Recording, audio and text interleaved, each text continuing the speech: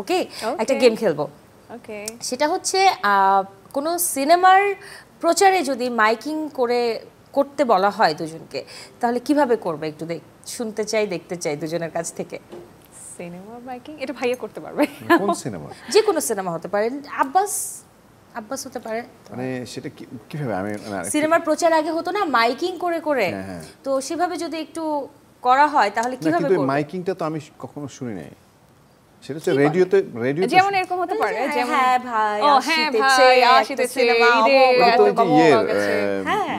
ওইটা হচ্ছে ওই গ্রামের মেলার মধ্যে ইয়ে করতো কিন্তু হ্যাঁ, সিনেমার হ্যাঁ সিনেমার সিনেমাতে আসতো আসলে রিক্সা ভ্যানে করে কিন্তু ভ্যানে করে এগুলো আচ্ছা। ই করতো। হ্যাঁ ভাইয়া জানে না আমি শুনেছি এটা। তাহলে একটু একটু দেখি না। তাহলে তাহলে ওর আচ্ছা কর্ণি আপু ধরিয়ে। দিক সাথে সেই পারবে সে যেহেতু নীরব ভাই ইয়ে করবে। না না না নীরব ভাই লাগবে এটা। হ্যাঁ ভাই।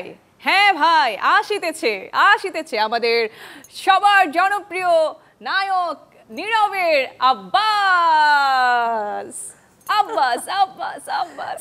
ওয়াও দারুণ দারুণ দারুণ এই জন্য না নীরব ভাইয়ের হচ্ছে কর্ণি আপুকে এবারে রিচ সালামে একটু ডাবল দেওয়া উচিত।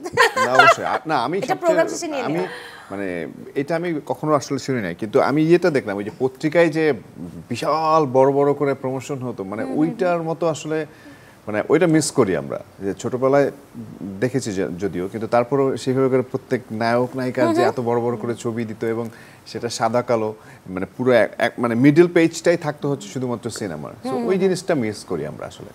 আর আমাদের তো ইয়ে ছিল যে মাজার ভাই যে উনি হচ্ছে সবসময় ভয়েস দিতেন হ্যাঁ?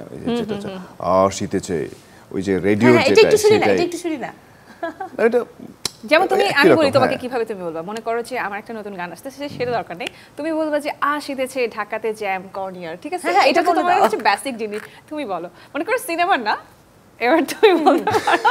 দারুণ হবে দেখি। না আমি সিনেমা নিয়ে বলি হ্যাঁ। আচ্ছা বলো। ইচ্ছা। আসিতেছে সাইফ চন্দন পরিচালিত আহ, নায়ক নীরব এবং নায়িকা সোহানা সাবা অভিনীত আব্বাস ও মাই গড দারুণ পারে না বলে, সে বলে শুনে না, এটা কোনো কথা। না, এটা তো- অ্যাক্টিং করছে অ্যাক্টিং আমাদের সাথে অ্যাক্টিং করছে মানে নায়ক হলে যেটা হয় আর কি। না এটা এটা হ্যাঁ এটা তো রেডিওর আমি রেডিওতে শুনছি। ও সো সুইট সো সুইট দারুণ দারুণ।